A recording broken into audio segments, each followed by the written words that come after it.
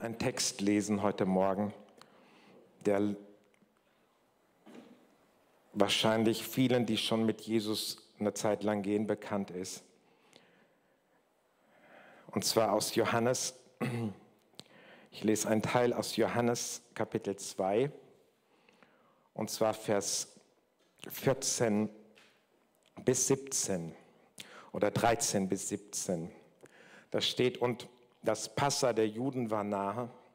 Und Jesus zog hinauf nach Jerusalem und er fand im Tempel die Verkäufer von Rindern und Schafen und Tauben und die Wechsler, die da saßen. Und er machte eine Geisel aus Stricken und trieb sie alle zum Tempel hinaus, samt den Schafen und Rindern und den Wechslern verschüttete er das Geld und stieß die Tische um.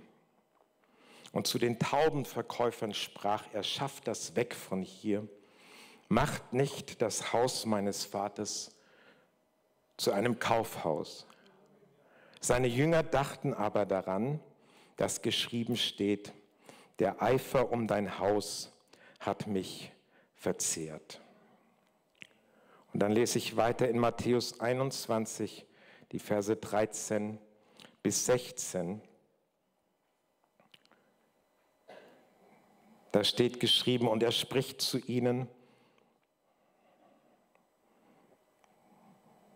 so wie in Johannes was vorangegangen war. Und dann heißt es, und er spricht zu ihnen, es steht geschrieben, mein Haus wird ein Haus des Gebets genannt werden, ihr aber habt es zu einer Räuberhöhle gemacht. Und es traten Blinde und Lahme im Tempel zu ihm und er heilte sie. Als aber die hohen Priester und die Schriftgelehrten die Wunder sahen, die er tat, und die Kinder, die im Tempel schrien und sagten, Hosanna, dem Sohn Davids, wurden sie unwillig und sprachen, hörst du, was diese sagen? Jesus aber sprach zu ihnen, ja, habt ihr nie gelesen, aus dem Mund der Unmündigen und Säuglinge hast du dir Lob bereitet. Bis dahin. Das ist eine sehr interessante und vielleicht aufschreckende, aber hoffentlich eher eine aufweckende Begebenheit, die uns hier berichtet wird. Ich kann mich noch daran erinnern, an meine Kindheit, immer wenn ich das lese.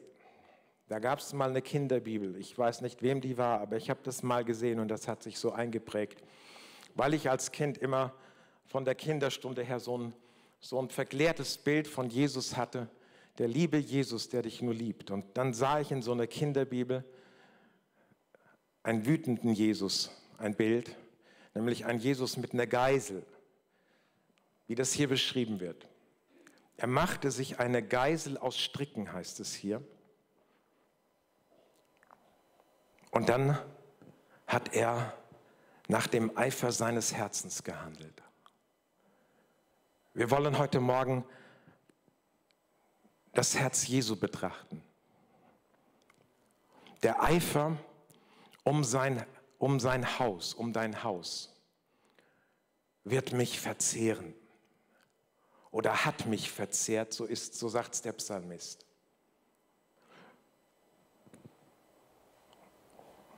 Jesus hätte das ja auch anders tun können. Er hätte ihnen ja ganz lieb erklären können, Leute, was ihr hier macht, ist falsch, ich erkläre es euch mal. Seid abgedriftet von dem Weg. Ich will euch mal zeigen, was meinem Vater gefällt. Aber ganz anders, er kommt, er sieht das und er ist nicht erst, zum ersten Mal im Tempel gewesen zu diesem Zeitpunkt. Johannes stellt das in seinem Evangeliumsbericht an den Anfang, ganz bewusst, weil er sein, sein Evangelium anders aufbauen will. Aber tatsächlich war das kurz bevor seinem Tod.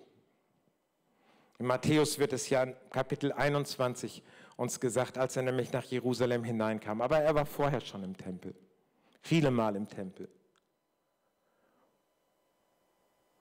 Und ihm war das bewusst und er sah das Treiben, das dort stattfand. Und der Tempel ist das Haus Gottes. Der Tempel ist der Ort von alters her gewesen, fing an mit der Stiftshütte und Gott tut sein Herz kund und sagt, warum er die Stiftshütte will, warum er den Tempel will, weil ich will, sagt Gott, unter meinem Volk wohnen. Ich will unter ihnen wohnen. Ich will bei ihnen sein, mit ihnen Gemeinschaft haben. Und die Opfer, die dort gebracht wurden, waren nur die Grundlage für die Gemeinschaft, nichts anderes. Und Jesus sieht das und er kann nicht an sich halten. Es ist unerträglich für ihn, was er hier erlebt. Weil es nicht um Gott ging, nicht um seinen Vater geht. Er sagt, das ist das Haus meines Vaters. Und was macht ihr mit dem Haus meines Vaters? Macht sich eine Geisel? Es wird nicht gesagt, dass er irgendjemand geschlagen hat, aber als Drohmittel. Und er treibt alle hinaus aus dem Tempel. Die Rinder, die Schafe, die, äh, äh, die Taubenverkäufer, er treibt sie alle raus. Es war der Vorhof des Tempels und es war eigentlich ganz praktisch, was da geschah. Gerade zum Passafest wurden sehr, sehr viele Tiere geopfert. Und es war doch praktisch, wenn dann die Leute kamen, gerade die von weit her kamen, und dann konnten sie sich dort im Vorhof des Tempels das entsprechende Opfertier kaufen, das sie opfern wollten, mussten das nicht von weit her dorthin transportieren und haben dann so ihre Pflicht erfüllt und gleichzeitig waren da die Geldwechsler, weil die Tempelsteuer musste in, äh, in dem jüdischen Geld bezahlt werden und dann haben sie ihr Geld gewechselt. War doch praktisch, war alles da. Wie im Kaufhaus, so sagt es Jesus. Wie im Kaufhaus. Du kriegst alles. Ich will das mal übertragen auf unsere Zeit. Gemeinde wie im Kaufhaus, sagt dir das was? Komm nur in die Gemeinde, da ist alles da, was du brauchst, Mensch. Wir bereiten dir alles, alles auf dich konzentriert, dass du es nicht schwer hast, dass du es ganz einfach hast. Du kannst alles bekommen, was du brauchst. Der Gedanke war ja nur auf Menschen zentriert. War ja ganz hilfreich für jeden Einzelnen. Aber Jesus macht hier deutlich, darum soll es niemals gehen. Es ist für ihn unerträglich, wenn diese Ichhaftigkeit des menschlichen Wesens in seinem Haus sich breit macht. Auf Menschen bezogen. Und Jesus sagt, das ist meines Vaters Haus. Das ist nicht euer Haus. Das ist das Haus meines Vaters. Und ihr macht es zu einem Kaufhaus. Angebot über Angebot. Kennst du das? Schau dir mal Homepages von Gemeinden an. Hier kannst du dich entwickeln. Hier kannst du deine Gabe entdecken und dein Talent entdecken. Und wir helfen dir, dein Talent zu entwickeln. Wir tun das und wir tun jenes. Wir werben um Menschen, dass sie sich wohlfühlen, dass ihr euch wohlfühlt. Aber im Haus Gottes soll sich einer zuerst wohlfühlen und das ist Gott. Und Jesus ist das offensichtlich nicht egal. Jesus hat da offensichtlich nicht ganz viel Geduld und sagt, ach ja, lass mal, Sie meinen es ja im Grunde genommen gut. Hauptsache, Sie kommen ins Haus Gottes. Hauptsache, Sie kriegen irgendwas mit. Ist ja nicht so schlimm. Ich finde es wirklich aufschreckend und aufweckend, wie Jesus hier handelt. Er duldet es nicht. Und ich finde es schon krass, dass er da hingeht und nicht nur sagt, ihr Geldwechsler geht mal raus, sondern er geht hin, nimmt die Kasse und schmeißt sie übers, über den Tisch, dass das ganze Geld weg ist. Kannst du dir vorstellen, was da im Herzen Jesu vor sich geht? Und er sagt, raus hier, ihr Taubenverkäufer, weg hier, das ist das Haus meines Vaters. Und die Jünger erinnern sich dran später und sagen, der Eifer um sein Haus hat ihn verzehrt. Jesus wusste, was das bedeutet, was er da macht. Er wusste ganz genau, was das bedeutet. Und die Bibel sagt es schon voraus. Lest mal weiter im Johannesevangelium. Dann treten die Pharisäer heran und sagen, was berechtigt dir, dich, sowas zu tun? Und er sagt, dann reiß dieses Haus ab und ich baue es in drei Tagen wieder auf. Und sie verstehen das nicht. Er spricht aber, sprach aber von dem Leib, von seinem Leib als Tempel Gottes. Und spricht schon von seiner Kreuzigung. Und das, genau das werfen sie ihm vor, als sie ihn dann kreuzigen. Sie sagen, du hast gesagt, du wirst den Tempel abreißen. Du hast Gott gelästert. Was du im Tempel gemacht hast, war Gotteslästerung. Jesus ist bereit, sich verzehren zu lassen, zu sterben, für was, damit in seinem Haus das geschieht, was dem Vater gefällt. Halleluja. Dafür ist Jesus gestorben. Es ist nicht so eine billige Erlösung, dass du ein Ticket für den Himmel hast und es gut geht und Jesus macht alles schön für dich. Nein, Gott will dich für sich haben. Er will, dass du seinen Namen verherrlichst. Er will in der Mitte deines Lebens, denn wir sind selber, du und ich, jede Person, die Jesus erkauft hat, ist sein Tempel. Dein Leib ist sein Tempel. Was du mit deinem Leib machst, ist Jesus nicht egal.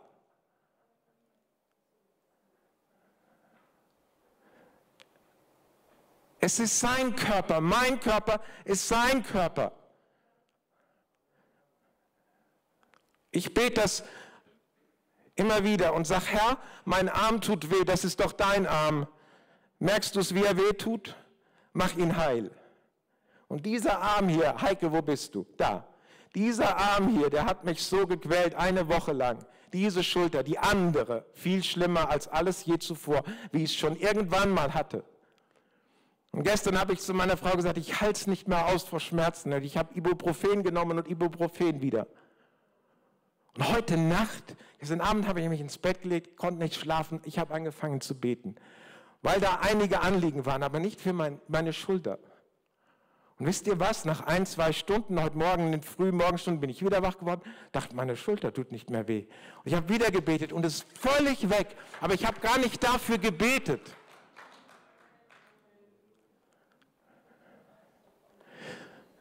Dieser Tempel, dein Körper, dein Leben gehört Gott. Jesus hat dafür bezahlt mit seinem Blut. Jesus ruft dir zu und lässt dir sagen, du gehörst ihm, du gehörst mir, sagt Jesus. Du gehörst nicht dir selber. Das steht im Wort Gottes geschrieben. Und wir können und sollen und, und, und es ist viel besser für uns, wenn wir nicht tun, was wir wollen, sondern was Jesus will. Und Jesus wirft sie hier raus, weil er sagt, das ist mein Haus. Er ist bereit, das ist sein Herz, wenn er auf Gemeinde blickt. Und ich frage mich, wenn er heute auf Gemeinden blickt oder auf dein Leben blickt, auf mein Leben blickt, auf uns blickt, was findet er unerträglich?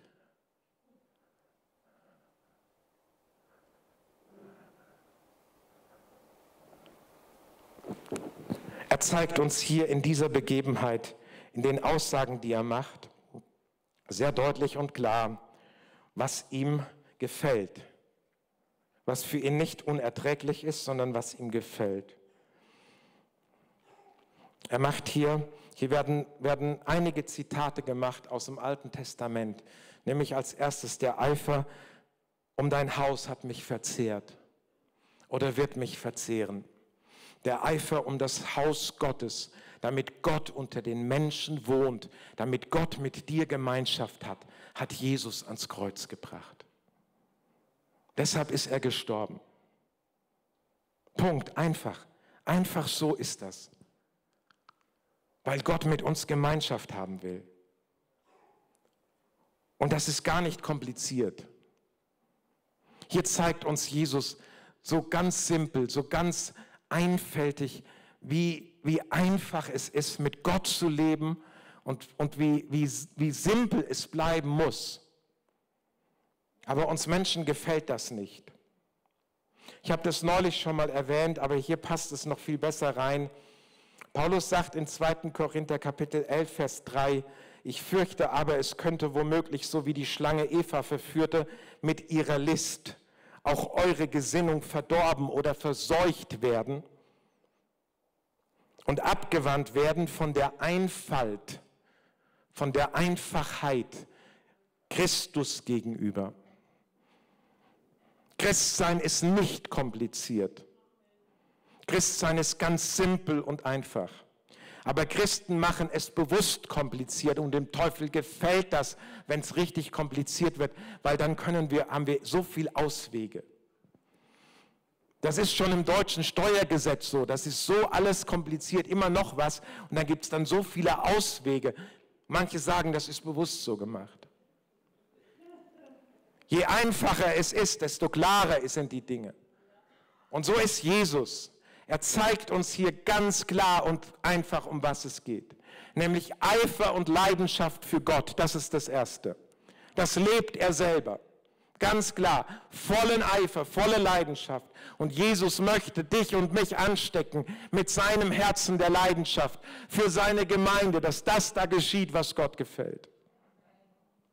Und er möchte als zweites, das wird hier gesagt, wieder ein Zitat, Jesus sagt, mein Haus soll ein Haus des Gebets genannt werden. Wieder ein Zitat aus dem Propheten Jesaja. Ein Zitat. Mein Haus soll ein Haus des Gebets genannt werden. Es wird so genannt werden.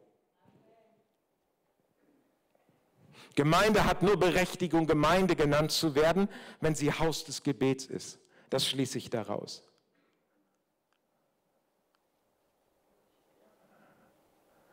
Aber was läuft ab in der Gemeinde? Um was geht es in der Gemeinde?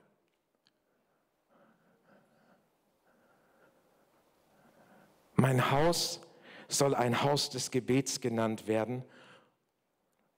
Und in Jesaja steht da noch dabei, für alle Völker. Für alle Völker. Ach, wenn wir nur beten, wenn wir nur Jesus ins Zentrum stellen, wenn da zu viel Jesus ist, wenn das zu, zu, zu äh, sehr im Zentrum steht, im Fokus steht, das schreckt doch andere ab, die das nicht kennen. Und wir müssen doch ganz behutsam an sie rangehen. Was für ein Unsinn. Die Einfalt Jesu Christi gegenüber. Lest mal, lest mal 1. Könige nach Kapitel 8, als Salomo betet und sagt, in diesem Haus, das ist die Einweihung des Tempels, wenn er betet. Und er sagt, in diesem Haus, wenn da die Fremden kommen, die nicht zu Israel gehören. Und sie werden kommen, sagt Salomo, weil sie hören werden, dass in diesem Haus ein Gott ist, der Gebet erhört. Halleluja. Das sieht, das ist der Schlüssel, wenn ich, jetzt gebrauche ich diesen Begriff, aber das ist das, was Gott hat für Erweckung. Jesus zeigt sich dort, wo er ins Zentrum gestellt wird. Ich habe letzten Sonntag darüber gepredigt. Wo Jesus ist, wird es Licht. Wo er sich zeigt, wird es Licht. Erkennen die, die ihn nicht kennen, die in Finsternis sind. Sie erkennen das Heil. Und das Heil, sagt Gott, das hat Gott seinem Sohn, seinem Knecht, Gottes Knecht versprochen. Du sollst mein Heil, auf dass du mein Heil seist, bis ans Ende der Erde. Halleluja. Die vielen werden errettet werden. Ich glaube zutiefst an Erweckung. Und damit meine ich eine große Anzahl, eine riesige Anzahl von Menschen, die errettet werden. Und das steht hier auch in diesem Zusammenhang. Mein Haus soll ein Haus des Gebets genannt werden für alle Völker, weil sie werden kommen. Halleluja. Und ich werde noch viel mehr, heißt es am Ende des 56. Kapitels des Jesaja, und ich werde zu denen, die gekommen sind, noch viel mehr dazu sammeln. Er macht es, Gott nämlich, er sagt es. Ich werde dazu sammeln. Wenn nämlich das geschieht im Haus Gottes, in der Gemeinde, was Gott gefällt. Und das ist Gebet. Ganz simpel. Es ist Gebet keine Unterhaltungsshow, nicht Konzerte. Kaffeekuchen kann sein am Schluss, kein Problem. Das hindert nicht. Aber was ist das Zentrum? Deshalb versteht mich richtig, was ist das Zentrum? Das Zentrum des Gottesdienstes, der Zusammenkünfte. Was ist das Zentrum?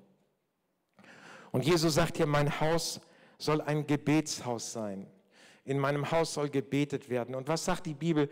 Dieser Begriff Gebet hat ja ganz verschiedenartige äh, Richtungen. Dazu gehört Lobpreis und Anbetung. Gebet hat immer, dieser Begriff bezieht sich im Zentrum von Gebet steht Gott selber.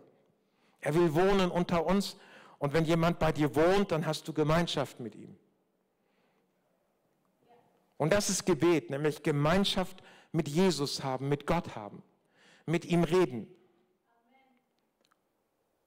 Auf ihn all und all die Erwartungen von ihm haben, von niemand anderem.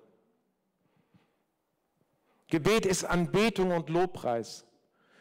Gebet ist Zwiesprache mit Gott. Gebet ist Fürbitte, aber auch Gebet ist auch Bitte für mich selber, wenn ich in Not bin. Ich wende mich zu Gott, ich habe Gemeinschaft, ich rede mit ihm. Ich trete für andere ein, wie er es will. Gebet ist Flehen, wenn wir in großer Not sind, dass wir zu Gott flehen. Zu Gebet gehört auch eine Kultur des Fastens, weil ich damit deutlich mache, Gebet ist ein Ausdruck meiner Demütigung vor Gott. Ich sage das immer wieder, wenn Menschen kommen oder wenn Gemeinde zusammenkommt, um zu beten, dann bringt sie etwas zum Ausdruck. Wir vertrauen nicht auf unsere Kraft. Wir vertrauen auf Gott. Und allein das ehrt, das ehrt ihn schon. Du musst dann gar nicht selbst gebetet haben in der Gemeinschaft, aber du bist da und damit machst du was deutlich vor Gott und vor der unsichtbaren Welt. Mein Vertrauen ist nicht auf das Geschaffene, auf den Menschen oder auf irgendwas, was geschaffen ist, sondern mein Vertrauen gilt dem, der alles geschaffen hat, dem Gott, dem lebendigen Gott. Und das ehrt Gott. Und darum geht es. Mein Haus soll ein Bethaus genannt werden, und zwar für alle Völker. Das soll bekannt sein. Da wird gebetet. Da steht Jesus im Zentrum. Niemand anders. Und wenn Jesus im Zentrum steht, dann zeigt er sich auch.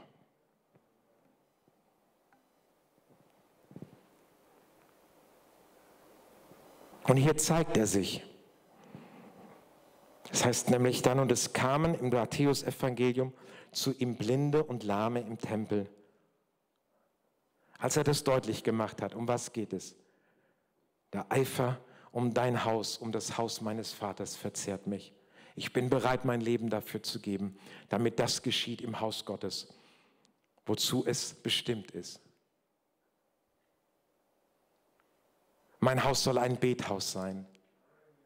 Mein Haus soll ein Haus des Gebets sein, wo, wo, wo Anbetung gebracht wird, wo gebetet wird, wo gefleht wird, wo, wo in Fürbitte getreten wird.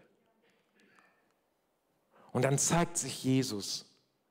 Er zeigt sich hier, er ist mitten im Tempel und er offenbart sich. Irgendwie wird den Blinden und Lahmen in diesem Moment deutlich, jetzt ist der Moment, jetzt werden wir geheilt. Hier ist derjenige, um den es geht im Tempel, nämlich Jesus. Und sie treten zu ihm und es wird so lapidar gesagt und er heilte sie. Halleluja. Kein Problem. Wenn Jesus sich zeigt, ist alles möglich. Und, dann, und das ist so einfach. Bin ich wieder bei diesem, der Einfalt Christus gegenüber.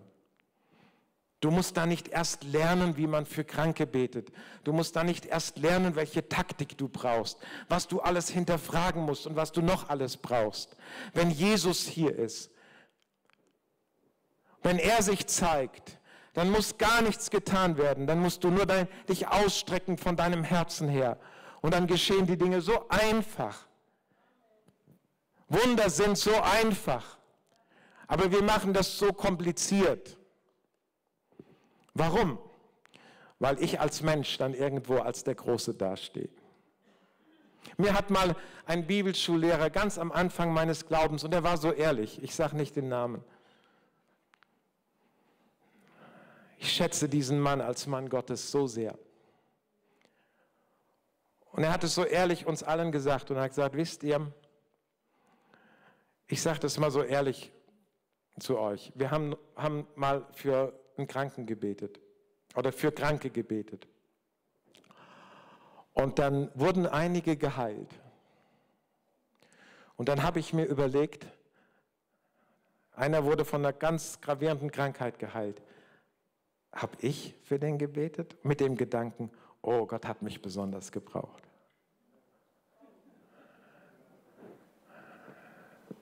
So sind wir Menschen.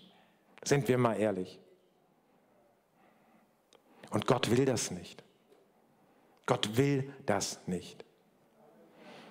Und er hat dann gesagt, ich habe Buße getan. Als der Gedanke kam, der Heilige Geist hat mich direkt überführt.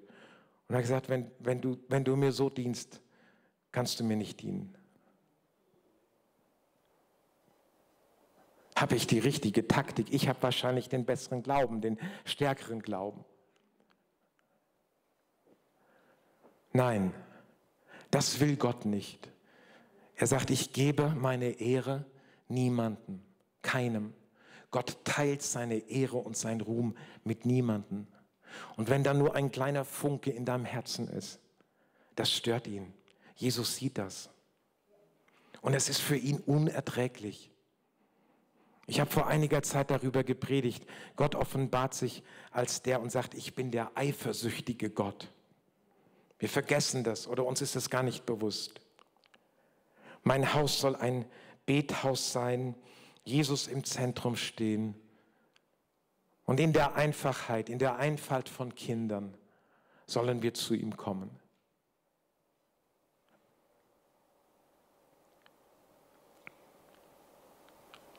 Und das sind auch Kinder.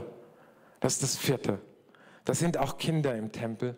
Und zwar Unmündige und Säuglinge. Also nicht reife Kinder, Kleinkinder und Säuglinge. Und die schreien und preisen und loben das, was da geschieht und den, der das tut, nämlich Jesus. Sie rufen und sagen, Hosanna dem Sohn Davids. Wie können die erkennen, wer Jesus ist? Damit sagen sie, hier ist der Messias, hier ist der Christus und wir jubeln ihm zu. Und deshalb ärgern sich die Pharisäer so drüber und die Schriftgelehrten, dass sie ausrufen, das ist der Messias. Das bedeutet Sohn Davids. Hörst du, was die sagen, Jesus? Du willst uns hier sagen im Tempel, was verkehrt läuft. Aber hörst du, was die sagen? Ist dir bewusst, dass Kinder, Säuglinge und, und, und Unmündige nichts zu sagen haben im Tempel? Dass die still sein sollen? Hörst du, was die sagen? Und Jesus ist da nicht überrascht. Er sagt, ja, ich höre das, natürlich höre ich das. Habt ihr nie gelesen? Und hier zitiert er wieder. Habt ihr nie gelesen aus dem Mund der Unmündigen und Säuglinge hast du dir Lob bereitet. Das, was im Tempel, im Haus Gottes gebetet wird, was Gebet ist, soll bestimmt sein von nicht von uns, ganz wichtiger Punkt, sondern vom Heiligen Geist.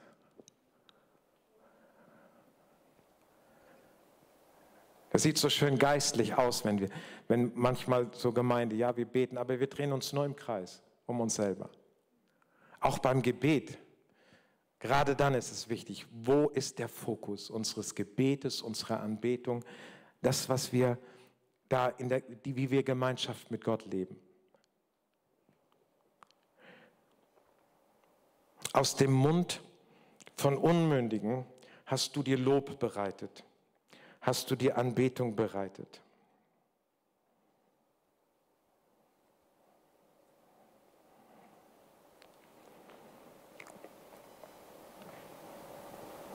Wirkliches Gebet oder geistgewirktes Gebet dann, wenn der Heilige Geist da wirklich drin ist, dann passiert etwas. Dann vergisst du deine eigenen Anliegen. Dann vergisst du dich selber. Das Haus des Gebetes, mein, mein Leben, mein Körper, dein Körper, dein Leben, dein Geist, Seele und Leib. Wenn das ein Haus des Gebetes ist, dann soll das geschehen in diesem Haus, was der eine will, nämlich was Gott will, was Gott gebetet haben will. Hier ist nämlich genau diese Krux, dass wir nämlich dann wieder so ich-bezogen letztendlich sind. Menschen können, wenn sie in großer Not sind, beten meistens sogar die Menschen, die immer sagen, mit Gott will ich nichts zu tun haben. Wenn sie gar nicht mehr anders können. Und letztendlich ist es ihr Ego. Aber das ist nicht das, was Gott interessiert.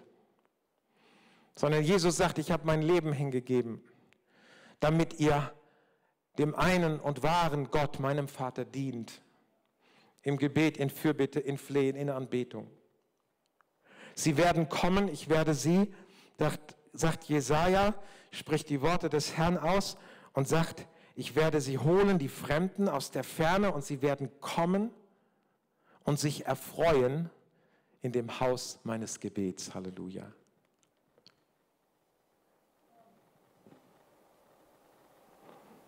Der Heilige Geist will bestimmen, was wir beten. Und deshalb diese Aussage, auf die Jesus hier hinweist, habt ihr niemals gelesen, aus dem Mund der Unmündigen und Säuglinge habe ich mir Lob bereitet. Ich lese euch mal ein Zitat von einem bekannten Schweizer Theologen, dem Adolf Schlatter, vor.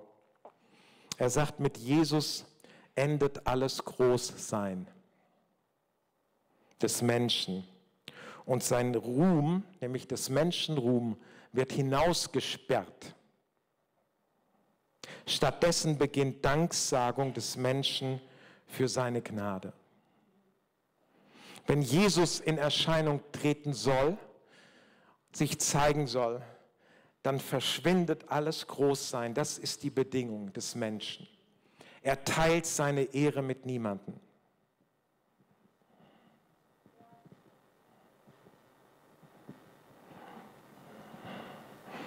Jesus, ich stehe hier vorne und ich sing dir und ich preis dich und erheb dich. Komm, stell dich doch zu mir. Macht er nicht.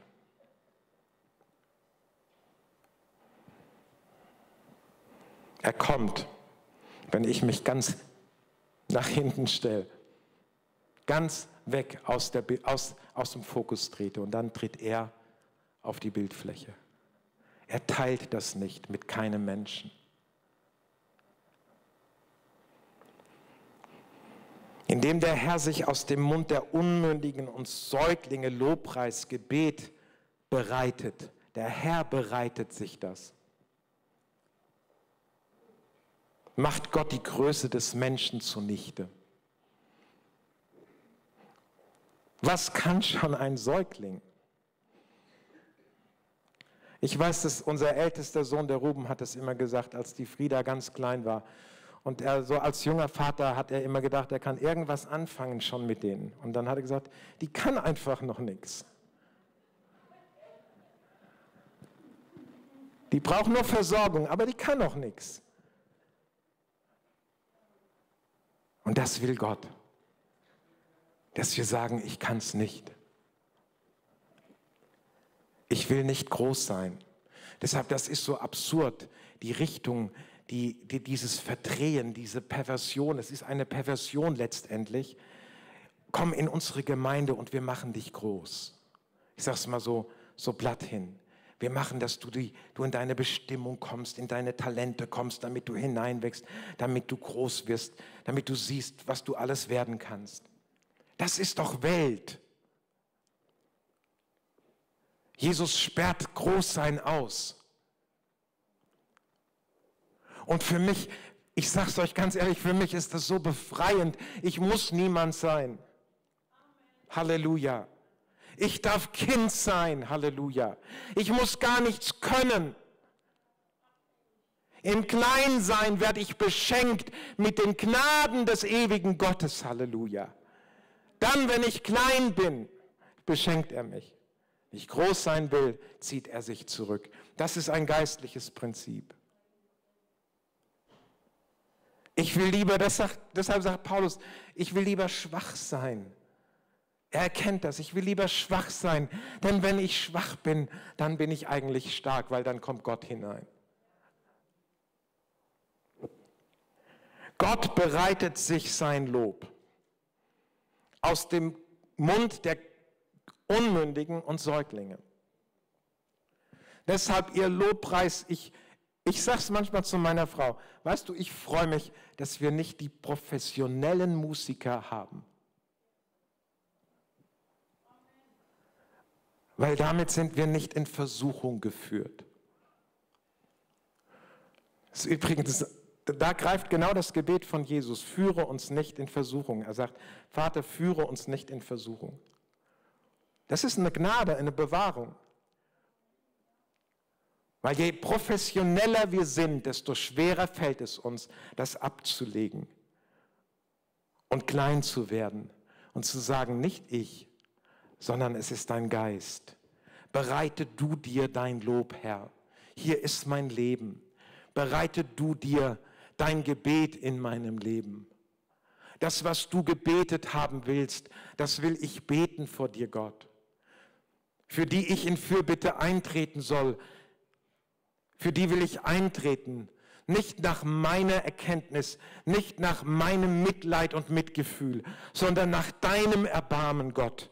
Nicht nach meinem Erbarmen, nicht wo meine Augen Dinge sehen und ich deshalb seelisch mitgenommen bin, sondern da, wo dein Auge, Geist Gottes, Erbarmen hat, dass ich gar nichts sehe, dass ich gar nicht erkennen kann, da will ich eintreten. Was nützt mir da diese, meine ganze Intelligenz und all meine Ausbildung? Es nützt mir gar nichts. Es steht mir im Weg. Das Kleinsein, die Kleinheit des Menschen beschenkt der Heilige Geist mit seinen Gaben.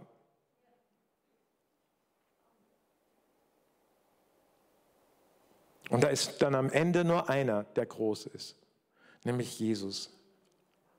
Und das ist die Plattform, wo er sich zeigt. Und wenn er sich zeigt, dann kommen die Scharen, weil die Attraktion ist seine Gegenwart, ist er selber, der das Licht ist, der allein die Finsternis erhellen kann. Dann geschieht Erweckung. Wenn mein Volk, über dem mein Name ausgerufen ist, so oft zitiert diese Aussage, aber so wenig praktiziert in unserem Land besonders und in der westlichen Welt. Wenn mein Volk, über den mein Name ausgerufen hat, ist, sich demütigt. Gebet bedeutet demütig, klein zu werden und zu sagen, ich kann es nicht. Und da, du brauchst nicht ein tolles Gebet formulieren können. Da gilt es, ein Herz zu haben, wie Jesus es hat, nämlich mit Eifer und Leidenschaft für das einzustehen, was Gott will. Halleluja. Betet ohne Unterlass. Betet unablässig. Betet unaufhörlich. Es scheint uns fast unmöglich. Ich kann nicht 24 Stunden beten. 24-7 kann ich nicht beten. Irgendwann muss ich schlafen. Wisst ihr, ich habe mal ein Zeugnis gehört, hat der Mann nicht von sich selber gesagt, hat ein anderer gesagt, der das mitbekommen hat, weil er da im Zimmer geschlafen hat. Und er hat gesagt, ich musste aus dem Zimmer ausziehen, weil dieser Mann, der hat im Schlaf immer gebetet. Der hat die ganze Nacht in Zungen gebetet und, und hat dabei geschlafen. Halleluja. Das ist der Heilige Geist. Ich wünsche mir das. Ich wünsche mir das. Du dir auch? Warum gibt uns der Geist Gottes diese Sprache? Warum? damit wir leichter beten können, beziehungsweise damit er durch uns beten kann, was er will und wir nicht mehr im Zentrum stehen. Warum fällt uns das so schwer, wenn wir so verkopft sind?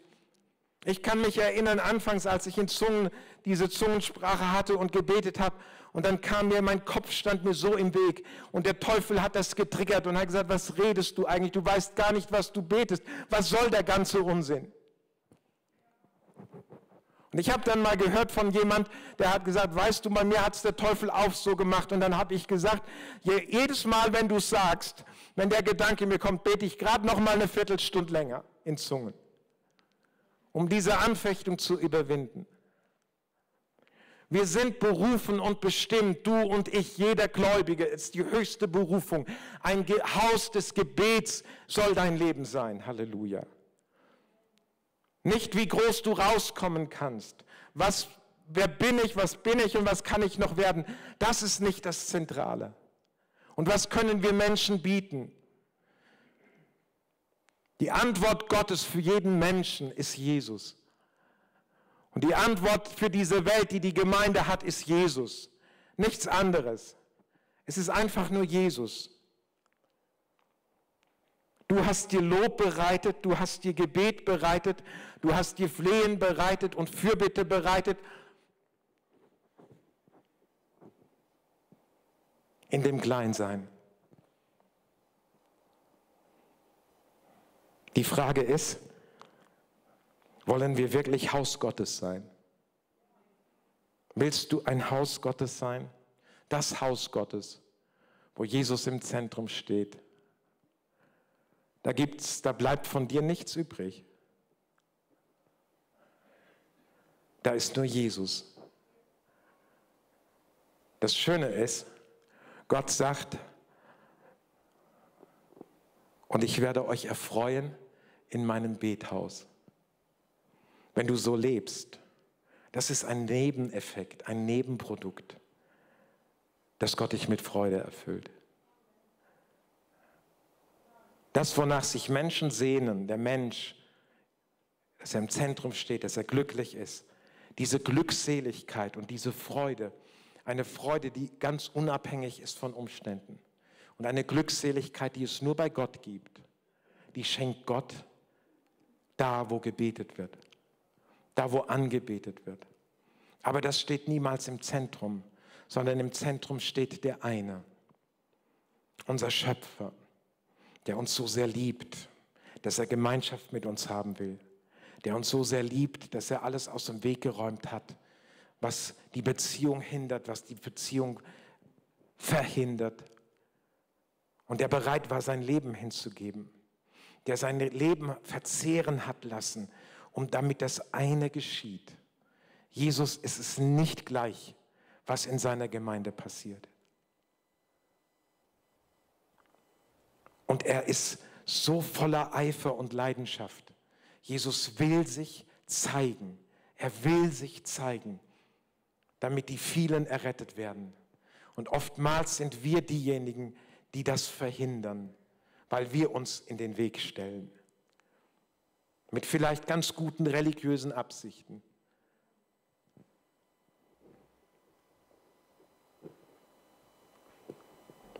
In Hebräer 3, Vers 6, da steht, Christus dagegen ist treu als Sohn.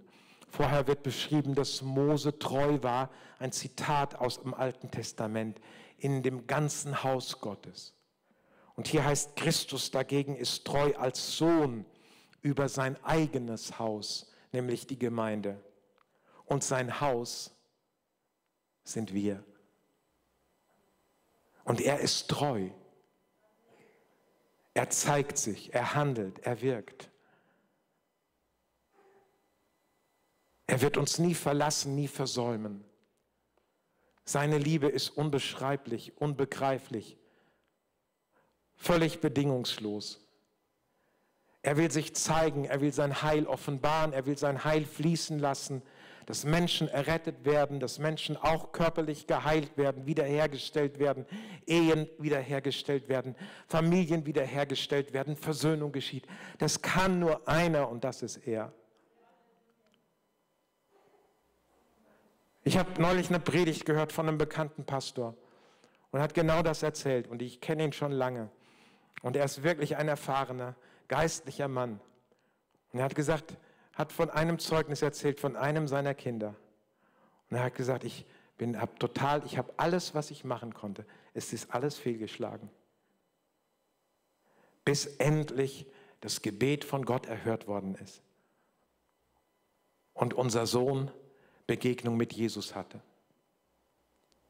dann war plötzlich wie rumgedreht alles anders. Was nie gefruchtet hat, es war plötzlich alles anders. Keine Seelsorge. Er hat gesagt, er hat so viel Seelsorge, er hat alles gemacht, es hat alles nichts genützt. Mit den besten Leuten hat alles nichts genützt. Aber wenn Begegnung mit Jesus geschieht, und das bedeutet, er zeigt sich, und wir können einen Ort bereiten, du in deinem Leben, wir als Gemeinde, wo sich Jesus wohlfühlt. Und das wollen wir tun. Ich bin so dankbar, und ich sage das immer wieder und werde nicht aufhören, das zu sagen, wie viel der Herr hier schon getan hat. An Gebet, an Hinwendung zu Gott hin. Und wir haben das jetzt schon so oft erlebt, dass Gott sich erbitten lässt, wenn wir da dranbleiben. Und es ist so wichtig, dass wir diese Kultur von Gebet und Fasten, dass wir die noch mehr intensivieren. Da ist noch so viel Luft nach oben. Und wir haben das gesehen in der Vergangenheit. Wir haben es immer wieder gesehen, auch wenn massive Anfechtungen sind, dass der Sieg bei Jesus ist wenn wir nur dranbleiben, wenn wir nur uns auf den einen ausrichten, auf Jesus. Und er möchte, dass wir es noch mehr tun, weil er Erweckung schenken will, weil er eine große Errettung schenken will. Und er ist hier heute Morgen und ruft dich. Ob du ihm dich noch mehr hingeben willst. Oder vielleicht du, der du äh, noch so ein bisschen am Rand stehst, was das angeht. Möchtest du in der Weise, wie Jesus sich das vorstellt, sein Haus sein? In dem der Eifer Jesu ist, dass in deinem Herzen dieser Eifer von Jesus ist, dieses Brennen, diese Leidenschaft. Ich möchte Gott ehren. Ich möchte ein, das ist das Erste in meinem Leben, dieser Eifer. Ich möchte Gott ehren. Ich will beten. Ich will mich ihm zur Verfügung stellen. Ich will nicht das tun, was ich will, sondern ich will, dass das geschieht, was er will.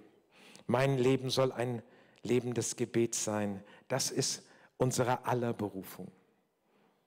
Höchste Berufung, die wir haben. Jeder Mensch, jeder Christ. Du kannst hier heute Morgen eine Entscheidung treffen.